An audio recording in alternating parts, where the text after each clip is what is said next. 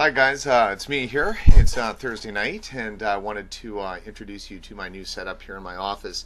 Um, as you can see, I work in my home office and uh, doing uh, my webcasting and obviously any video blogs. Background's horrible, lighting's terrible, so I instituted uh, something new um, last week and did it on the cheap too. I'll talk about it in class, but just watch the transformation. It'll take a second.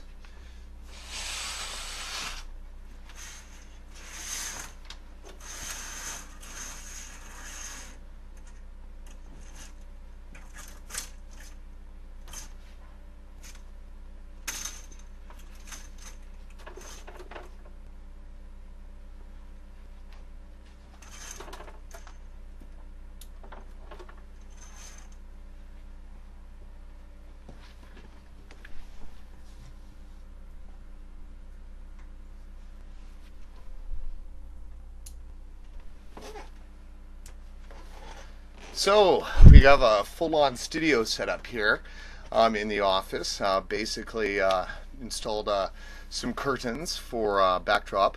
Um, also actually have a green screen cloth too as well. Just working out the tweaks on that right now. Uh, but we have a three-point lighting setup. I have the key light. I have uh, the trusty fill light. Obviously, as you can see, makes a big difference, and we'll be talking about that later in class today. And of course, a backlight installed way up back there so uh, obviously uh, can stand out. Makes a big difference. Uh, cost me probably around well $400, 300 for the curtain, the rods, um, and all that. So anyhow, we'll be talking about lighting today. I hope you have a good uh, good time writing the exam. It's a bit hard, I know, and I'll talk to you soon.